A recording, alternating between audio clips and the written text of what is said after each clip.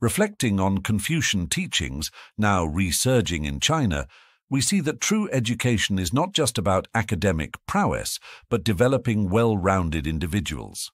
Ignorance, particularly when self-imposed for personal gain, hampers societal growth.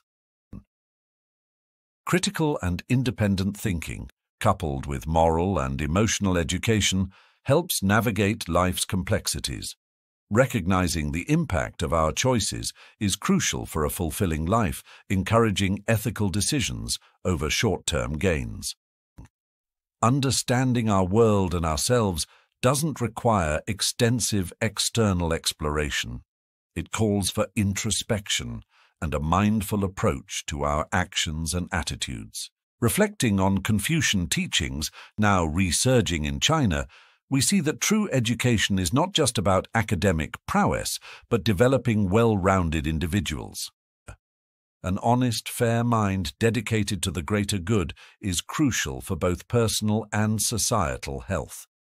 Yet, contemporary society often prioritizes material success over moral integrity, sometimes reflected in educational systems that neglect the cultivation of integrity-focused minds.